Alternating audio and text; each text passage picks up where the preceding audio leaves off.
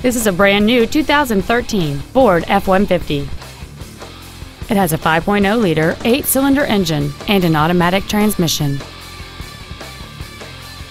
Features include a double wishbone independent front suspension, a low tire pressure indicator, traction control and stability control systems, 17-inch wheels, a passenger side vanity mirror, an engine immobilizer theft deterrent system, an anti-lock braking system, side curtain airbags, air conditioning, and an auxiliary power outlet.